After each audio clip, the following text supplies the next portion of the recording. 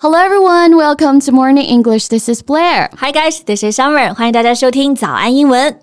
哎，贝贝，你说啊，现在的小朋友怎么都不认识贝克汉姆了呢？啊那天我给他们上课啊，放了一张贝克汉姆的照片，竟然没一个人知道他是谁。嗯，小朋友嘛啊，还不怎么看体育，而且这贝克汉姆早就退役了，活动自然也少了很多。也是啊，而且我看他最近这个 ins 更新啊，他已经过上了退休生活，天天呢就在农场里面喂鸡。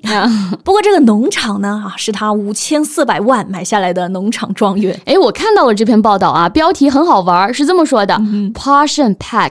David Beckham is trailed by his chickens while walking the grounds of his 6 million pounds Cotswolds home. Yeah, posh and peck. 哎，这两个词都是字母但是意思呢，真是云泥之别啊。这个 posh 就是非常的洋气，很奢华、高雅，又是上档次、上流社会这个意思。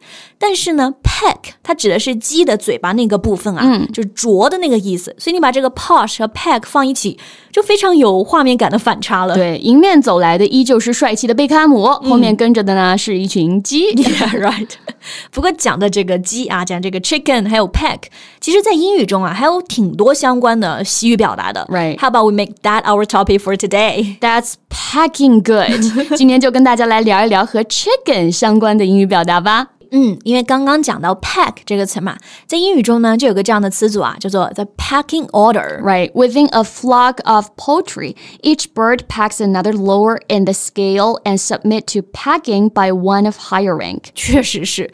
我看一群鸡在吃饭的时候啊，就是一只大的强壮那一只啊，总会去啄其他的鸡。嗯哼那其他被啄的它也不反抗，就是跑掉了。所以在鸡群里面呢，就有个这样子的 packing order，高等级的可以去啄低等级的，right？所以这个词呢就有等级排序的意思、嗯、，just like hierarchy，the yeah. the order of importance in relations to one another among the members of a group. Yeah. For example, in the classroom, the students have established a pecking order with the popular kids at the top and the less popular kids at the bottom. Right. 那这个词呢也可以放在体育界，比如说像新西兰啊，在橄榄球国家当中是首屈一指的。嗯，So New Zealand is at the top of the packing order of rugby nations. OK，讲回这个 chicken，其实它本身有个非常好用的用法啊，除了表示鸡呢，还可以表示非常胆小、退缩。嗯，用的经常是这个词组啊，叫做 chicken out。 Right, to decide not to do something because you're afraid. 对，感觉鸡通常都挺胆小的 Yeah 所以这个 chicken out 就有这个意思了。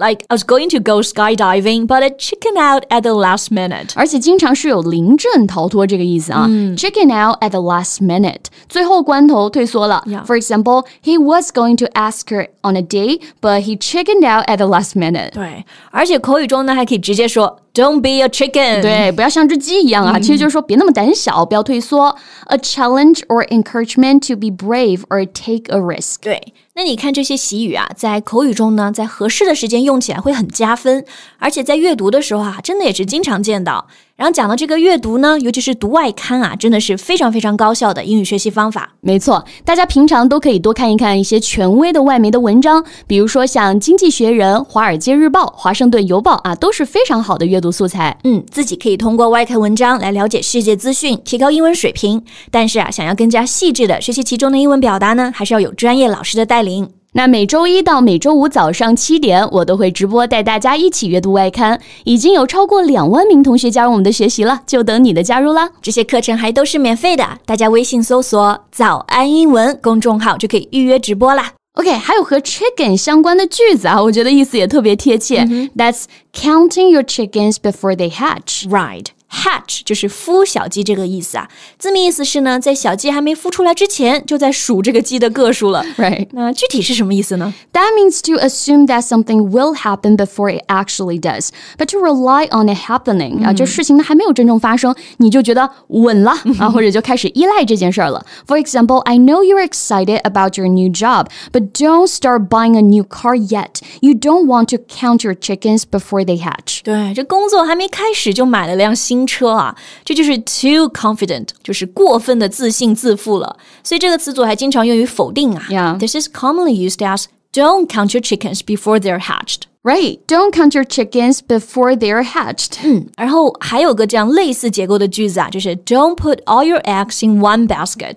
这个大家应该也都见过吧？就是说不要把所有的鸡蛋都放在一个篮子里，就是不要太依赖一件事情，要把这个风险呢均摊一下。 Right. To not rely on just one thing or option, to diversify. Yeah. For example, I know you're really excited about this investment opportunity, but don't put all your eggs in one basket. Spread your money around a bit. Right, spread your money around。投资呢，你不要 all in 啊，你要分散些呢才更保险。对，那这么来看，chicken 在英文当中好像不是一个特别正面的形象啊。对，要么就是胆小，要么就是自负。 Yeah 而且还有一个这样的词组啊，叫做 running around like a headless chicken。跑得像一个无头鸡啊，其实就是我们中文当中说的无头苍蝇。So that means to be very busy and disorganized. 对，所以你看，在这个词组里啊，鸡都沦落到和苍蝇一样的地位了，就是 表示非常的忙但是是没有组织、没有方向的忙啊，就是乱忙啊。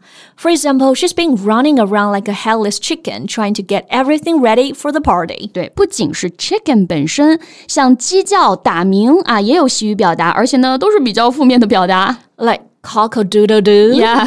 这个词还是我在绘本里和启蒙儿歌里学到的词啊，就是鸡叫的声音。 Not this one, but crawl. C R O W. Crawl 这个做名词啊，大家知道是乌鸦的意思，但是呢，也可以表示我们说的雄鸡的这个叫声，而且还引申啊，可以表示自鸣得意、洋洋自得的夸自己。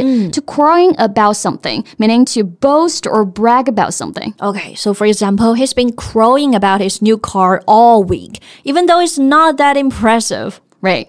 OK，那今天就从贝克汉姆养的鸡啊，讲了这么多相关的西语表达，大家都可以用起来。Yes, and that is all we have for today. Hello, welcome to Morning English。早安英文呢是一个为大家免费提供英语教学的频道，每天都会更新。如果你想获得关于英语听说读写的内容，我们都会在这个频道更新。我们的目标是帮助全球的华人学好英语。如果你觉得还不错的话，记得给我们订阅哦。另外，点开小铃铛，这样的话就不会错过其他任何学习视频啦。对了，如果你想获取本节课的完整版笔记，在视频简介或者评论区领取哦。你也可以给这个视频点赞，点赞就相当于自动保存啦。So thank you so much for listening. This is Blair. This is Summer. See you next time. Bye. This podcast is from Morning English. 学口语就来早安英文。